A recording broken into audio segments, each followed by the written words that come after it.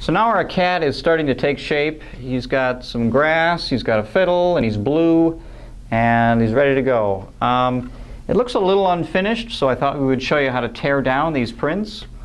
What we're going to do is we're going to make some marks where the plate um, actually pressed against the paper. So it's very easy to see. It's slightly raised. So now I know where the edge of the plate is, and I can put this down and I can measure out, oh, let's say just an inch. We'll do an inch.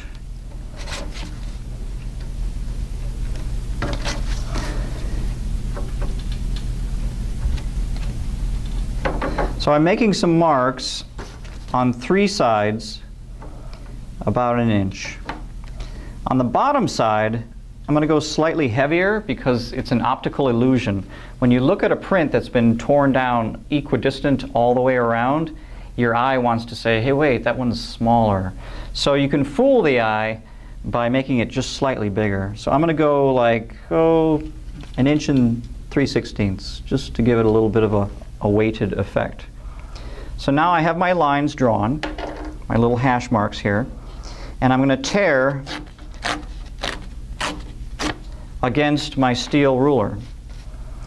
So what's nice about this is now it's going to look like a finished print. And if we're lucky, those finger flubs where my, my fingers were all covered with ink, hopefully those will be gone. We'll see.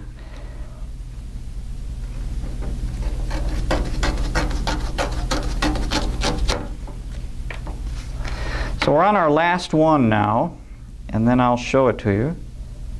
You just line that up with, with where you made your little marks.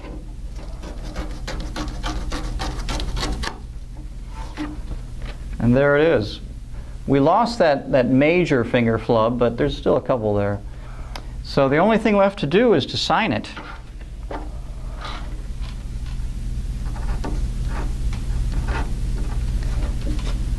There it is.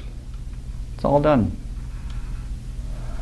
And it could be framed, you know, like these here.